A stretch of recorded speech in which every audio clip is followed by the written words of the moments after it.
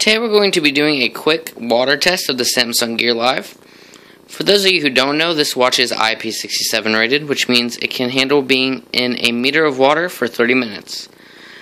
So to test this, we're just going to drop it into this cooler for a few seconds and see how well it does.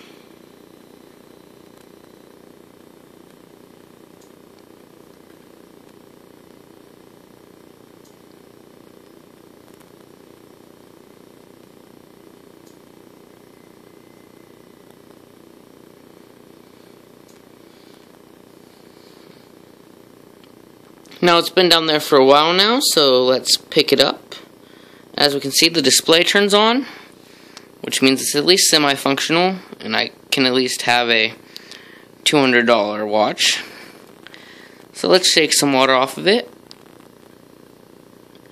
And as we tap, we can see that it does seem to be working. There does seem to be some issues with the touch input, which is most likely just because of water on it. So I'm going to dry off the front of it real quick and then see how it works.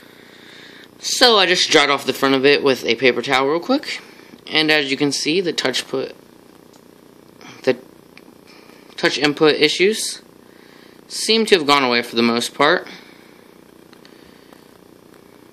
Keep in mind that my hand itself is actually still wet.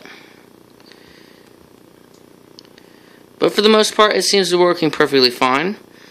I'm sure once my hand dries out and the screen completely dries out, it will be perfectly fine.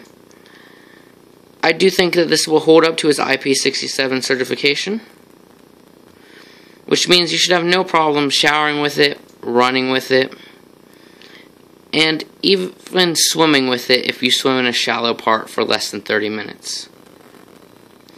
That's all we have for you today. If you'd like this video, Please subscribe to our channel, and we will keep uploading more.